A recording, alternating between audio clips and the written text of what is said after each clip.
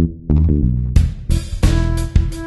Spotify is a commercial music streaming service that provides digital rights management protected. The service can run on OS X software as well as Linux, Windows, iOS, Android, Blackberry, and much, much more. From a user experience, when I first used the software, I wasn't very impressed with it. In fact, I thought of it much like an online radio station service, much like Pandora services. But after tinkering with the software for a bit and searching for some of my favorite bands, I started seeing the positive side to Spotify.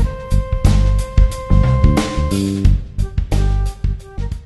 Before we begin, one of the downsides of this application is that you had to pay for services on the mobile market. It doesn't affect me much considering I don't have a smart device, but for those who want to listen to music on the go, I am sorry to say, but you're better off getting Pandora Radio application. At least it does the same thing for free. When I first heard of this software, it was mentioned in a tweet by one of my friends. After pondering about it for a moment, I started to browse Facebook. When I went on to Facebook, I saw some small icons under a person's status saying that they recently used Spotify and liked a band. After seeing the software mentioned twice, I decided to go with my gut and just give it a shot. After installing the program and logging into my Facebook, I saw I had the option to follow my friends and what kind of music they like. I didn't see the point in that because it already mentions it in my Facebook homepage what they already like.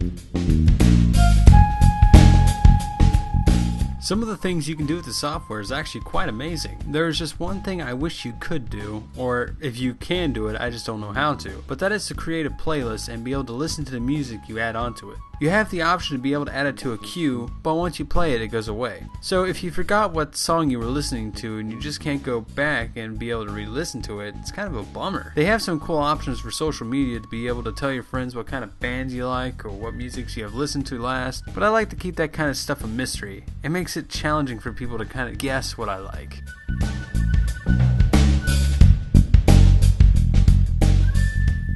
Now, I know what you're thinking. What kind of music does this software provide? So far, I was able to find some of my favorite bands like Audioslave, Daft Punk, and Limp Bizkit, just to name a few, and it seems to have a lot of good music, even some older albums. But some of the songs you want may have been done by other people, such as Killing in the Name of by Rage Against the Machine. If you are ever busy and you don't have music on your computer, but you have internet access, I would give this software a try. It will keep you entertained and even have you bobbing your head to the rhythm of the music. And who knows, you might find some other bands you might just like.